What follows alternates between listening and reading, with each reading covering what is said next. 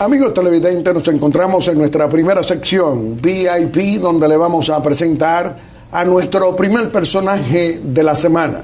Nos acompaña como nuestro invitado el doctor Eduardo San Lobatón, director general de Aduanas y Puertos, pero además el secretario de Finanzas del Partido Revolucionario Moderno y uno de los funcionarios mejor valorados, de acuerdo a seis encuestas, desde la llegada del poder, al poder político del presidente Luis Abinader.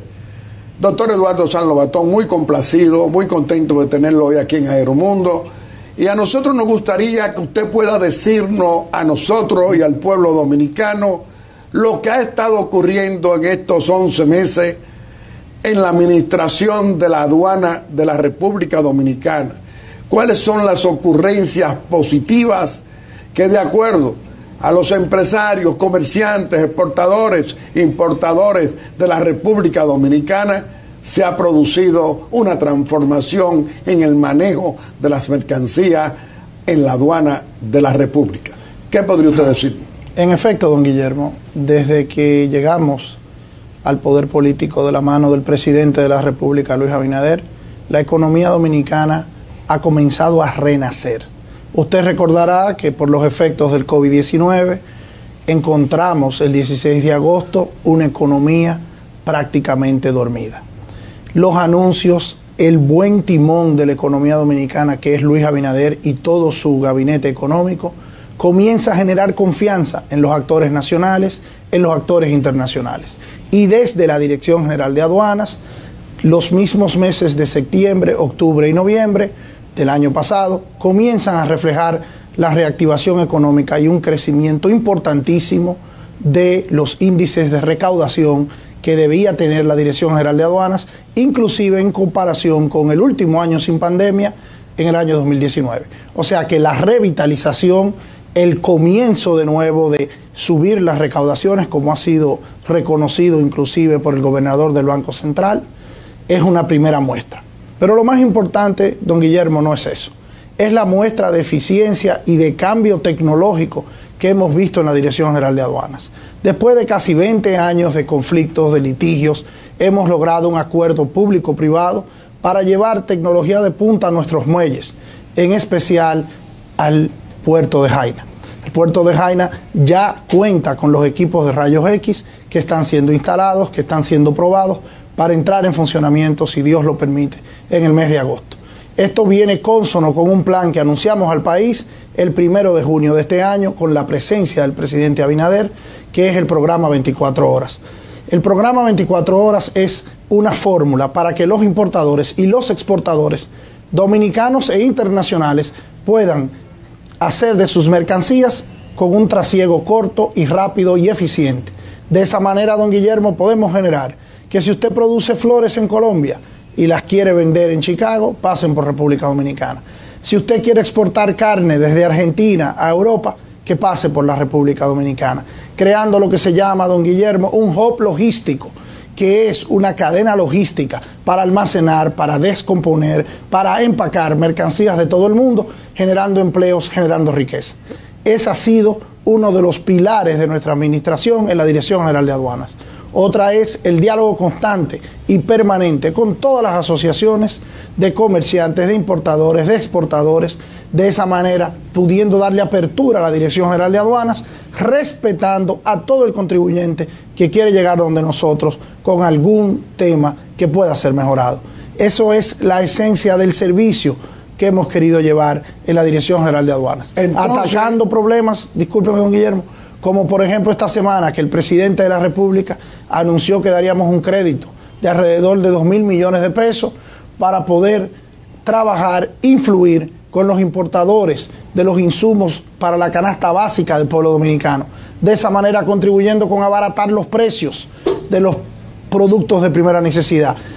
Esas son las cosas que estamos haciendo en la Dirección General de Aduanas. Doctor Eduardo San Lobatón, ser contribuyente en la aduana antes lo veían como los enemigos, que era todo era contrabando, todo era ilegalidad. Dicen que hay un cambio hoy en su gestión. ¿Cómo lo explicaría usted? Don Guillermo, los contribuyentes son las personas que trabajan, que pagan impuestos, que se levantan a las 5 o 6 de la mañana y trabajan hasta las 8 o 9 de 10 de la noche. No podemos ver al contribuyente como un adversario de la administración tributaria. Somos socios, somos todos del mismo equipo que se llama República Dominicana. Evidentemente, don Guillermo, la ley tiene que aplicarse, las sanciones tienen que moderarse, pero tienen que aplicarse en situaciones específicas. Sin embargo, el ánimo que tenemos en la Dirección General de Aduanas es uno de colaboración, es uno de sincerizar los valores de los productos y la mercancía que entran al país y de tratar de generar un ambiente de armonía entre la gente que con el sudor de su frente paga los impuestos. Y todos sabemos que pagar impuestos no siempre o casi nunca o nunca es agradable, don Guillermo, pero es necesario. Pero sin embargo, los contrabandos lo enfrentan. El tráfico de droga también lo enfrentan. El tráfico de dinero ilegal también lo enfrentan. ¿Cómo lo explica usted? Mire, don Guillermo, los índices de, de decomisos, de sustancias ilegales, de divisas no declaradas, de alcoholes ilegales, de cigarrillos ilegales, ha aumentado en casi un 50% desde que la administración de Luis Abinader asumió las riendas del Estado Dominicano. Yo quisiera felicitar eh, a los organismos de seguridad del Estado, a la Dirección Nacional de Control de Drogas, al Ministerio de Defensa, al Ejército Nacional, a la Policía Nacional, porque al final del día la Dirección General de Aduanas es un facilitador. A la Dirección Nacional de, eh, del DNI. Claro, al Departamento Nacional, de, Investigaciones. de Investigaciones, que son ellos que a veces nos dan las informaciones y nos permiten dar el seguimiento para poder atacar el crimen organizado que pretende pasar por nuestras fronteras, todo tipo de cosas. Pero ahí están los índices, hemos sido felicitados por las principales embajadas del mundo y, tenemos un contacto permanente con la inteligencia de los Estados Unidos, de Centroamérica y de algunos países europeos, que definitivamente mantienen un contacto permanente, porque esto no es un tema de la República Dominicana, es un tema del el crimen internacional, que, es una lucha constante, que no podemos jamás desfallecer, pero que vamos muy bien, don Guillermo. Pero usted tiene encuentros frecuentes con el ministro de Defensa, el teniente general Carlos Luciano Díaz Morfa, es decir, hay entre Fuerzas Armadas y Aduana una, comunicación frecuente y constante para enfrentar cualquier ilegalidad. Sí, tenemos, mantenemos una colaboración estrecha, eh, nos, eh, nos vemos con muchísima frecuencia y no solo el general Díaz Morfas y yo, sino que también sus equipos de trabajo con los equipos de trabajo de la Dirección General de Aduanas, porque son dos instituciones que van de la mano, especialmente en las cosas que tienen que ver con la frontera eh, dominico-haitiana. Donde tenemos unos puestos aduaneros que necesitan el constante, eh, la constante colaboración de nuestras Fuerzas Armadas. Y yo le diría que es uno de los puntos luminosos, las cosas que hemos podido lograr de revitalizar el comercio en la frontera dominico-haitiana, que representa para el país casi 1.200 millones de dólares al año. Evidentemente, en las últimas, en la última semana, con la tragedia acaecida en el hermano país, con el, horrendo crimen en contra del presidente haitiano, eso ahora tiene que, eh, eh, se ha detenido y se volverá a activar a raíz de la condición política del hermano país haitiano. Señor director general de aduanas y puertos, ¿a qué le atribuye usted entonces este clima de confianza de empresarios, comerciantes nacionales y los extranjeros frente al gobierno del presidente Luis Abinader y su administración. ¿Qué diría usted? Lo primero ha sido, don Guillermo, que desde que asumimos el gobierno hemos dado pasos firmes y sensatos. El manejo de la pandemia eh, ha sido muy, pero muy difícil y ha salido muy bien. Los índices de vacunación, los índices de contagio de la República Dominicana son de los mejores de toda América Latina. Cuando hicimos el presupuesto complementario, que fue la primera señal que se hizo el presidente de la República recién llegado, tuvimos que colocar unos bonos en el mercado internacional para financiarlo. Y esos bonos recibieron una sobreoferta. Por cada bono que colocó la República Dominicana, los mercados internacionales querían comprar tres. lo cual quiere decir que los primeros movimientos, eh, el manejo con el Banco Central, el manejo con los poderes económicos nacionales e internacionales, ha generado confianza, ha generado calma. Y la economía, donde hay calma, donde hay confianza, donde hay sensatez, florece. Donde hay incertidumbre, donde hay miedo, donde hay crisis, entonces se, eh, se torna más parca, se torna más difícil. Y Luis Abinader, desde el 17 de agosto mismo, con las medidas que ha tomado, le ha enseñado al mercado internacional, a la comunidad internacional, que en este país hay sensatez frente a las ejecutorias de gobierno. Y ese ha sido el principal tema para que se comiencen a inaugurar hoteles, para que se comiencen a ver inversiones, para que tengamos el crecimiento de zonas francas más alto que se ha tenido en toda la historia de las leyes de zona franca de la República Dominicana. Superamos por primera vez en el mes de marzo mil millones de dólares en exportaciones de zona franca. Eso es un hito económico gracias al timón económico que tanto el, presidente de la República, el, ministerio de, el ministro de Hacienda, el señor Jochi Vicente y todo el equipo económico de la República Dominicana hemos trabajado, el director de la Dirección General de Impuestos Internos también, nuestro amigo Luis Valdés. Así es. Bueno, ya yo, como te dicen nuestros compañeros del Partido Revolucionario Moderno, los partidarios de nuestro presidente Luis Abinader, los hombres y las mujeres que trabajaron por el cambio político, ¿qué hace Yayo por ellos?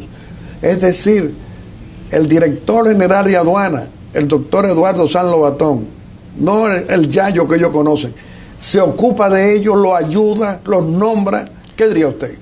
Don Guillermo, una de las tareas fundamentales de todos los que construimos el cambio político en la República Dominicana es permitir, es lograr que la gente que se fajó por el cambio, que se fajó para hacer un partido de la nada, que salimos de un tribunal donde nos tiraron en la cara treinta y pico de sentencias, que luchamos contra un partido de gobierno que a veces se interponía para que nosotros abriéramos un local, que trataba de dividirnos, que trataba de, de, hacer todo lo que podía para que el Partido Revolucionario Moderno no fuera lo que es hoy, el partido más sólido y más fuerte de la República Dominicana.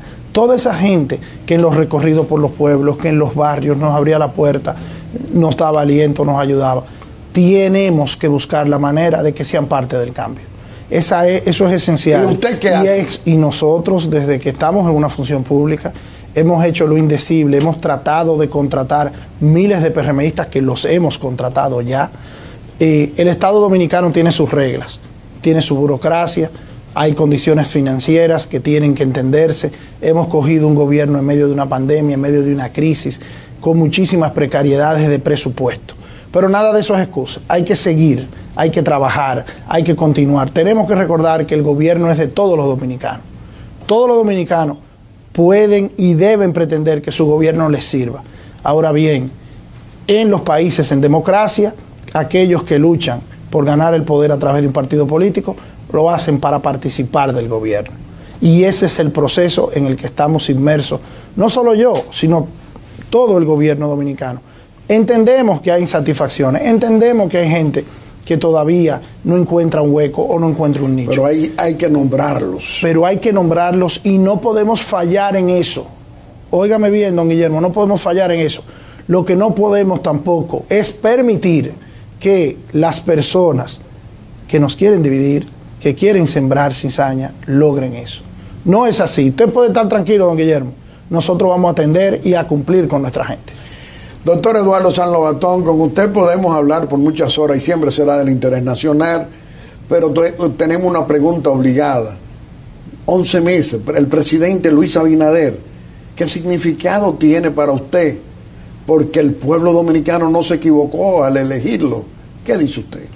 Lo primero, don Guillermo, yo me siento muy orgulloso de formar parte del trabajo que hace Luis Abinader a favor de este país trabajando 17, 16, 10, todo el día, de una manera incansable. A veces son las 2, las 3 de la mañana.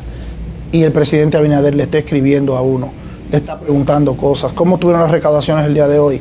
¿Qué hiciste con el compañero tal? ¿Qué hiciste con la compañera tal? ¿Qué hiciste? ¿Qué está pasando en Caucedo? ¿Qué está pasando en Jaina? O sea, él se involucra en la tarea de gobierno y eso se reviste y se siente a lo largo y ancho del país. Estamos en manos de un hombre decente, de un hombre sosegado, de un hombre con valor personal para enfrentar lo que hay que enfrentar en este país, para realizar los cambios que hay que realizar en este país. Y yo creo que estos 11 meses vamos muy bien, tenemos espacio para mejorar, lo sabemos y vamos a seguir trabajando para eso. Pero en la República Dominicana puede sentirse muy bien de que el 5 de julio pasado, hace un año y unos días, dijimos cambio, cambio y cambio. Y estamos cambiando, don Guillermo. Doctor Eduardo San Lobatón, no podemos terminar esta conversación ante nuestra querida familia dominicana sin preguntarle su opinión sobre esta crisis haitiana, este magnicidio que ha ocurrido con el asesinato del presidente de Haití, Jovenel Moïse. ¿Qué diría usted? Don Guillermo, es un crimen horrendo que como ser humano, como creyente, a uno simple y llanamente lo llena de tristeza.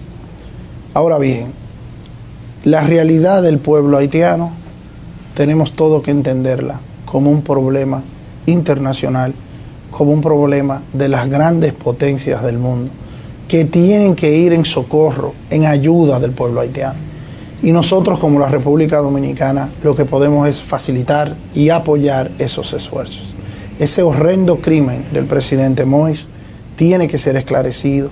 La gente que perpetró, que ayudó, que apoyó esa, esa atrocidad o que lo ordenó. tendrá o que lo ordenó tendrá que pagar.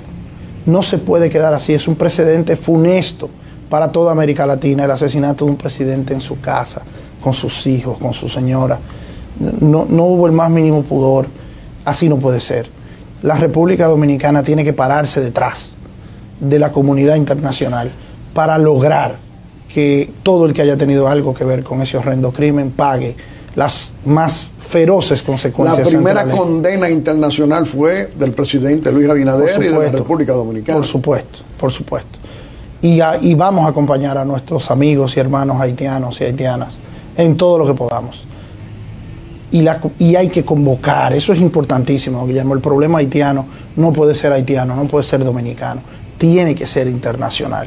Nosotros necesitamos a los Estados Unidos, a Canadá, a Francia, a México, a Brasil, a toda la comunidad internacional involucrada en esta situación, porque de lo contrario vamos a generar todo tipo de sinsabores en todo el continente, don Guillermo. Doctor Eduardo San Lobatón, con usted podemos hablar por muchas horas y siempre será del interés nacional, pero queremos permitirle a que usted pueda despedirse de nuestra querida familia dominicana haciendo una exhortación aquí en Aeromundo. Vivimos tiempos de cambios y los cambios tenemos que empujarlos cada uno de nosotros. Esta tarea acaba de empezar, pero todavía falta mucho por recorrer para lograr la República Dominicana que hemos soñado tantos dominicanos de buena voluntad. El presidente Abinader lo está dando todo.